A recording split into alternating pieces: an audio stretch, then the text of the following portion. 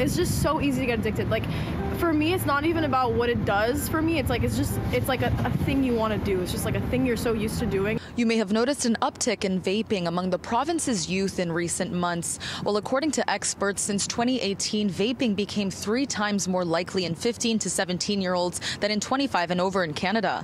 Some smoking cessation experts fear that it could become even harder for the youth to give up these products altogether due to their affordability and accessibility. In the past 10 years, we went from about 2 to 3 percent of young people using e-cigarettes to about a quarter of young people reporting e-cigarettes in the past month. The whole notion that these products are available in very pretty colors, that are collectible, that you have different skins, that you can personalize.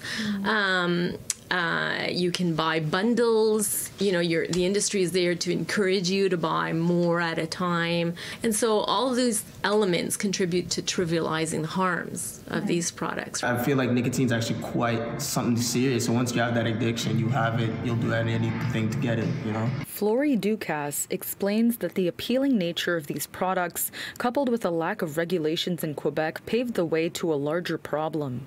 The industry is always reacting to keep those products cheap and enticing with different flavors, and we don't have a ban in Quebec. We don't have a ban on flavors uh, nationally, and so a lot of the a lot of the elements that contribute to keeping the products uh, popular and easy to use among uh, a young clientele are still there. We have the lowest tobacco tax in the country. A common misconception around vaping this pediatrician warns of. There is a potential for vaping products to be less harmful for adults who would use them for smoking cessation. It's not the case for young people. There's no evidence that vaping would be a, a successful or useful tool for young people to quit smoking. So really what we're seeing in young people is that they're using these products not instead of cigarettes, they're just using them and without using cigarettes. And he is already getting a glimpse at some of the short-term effects.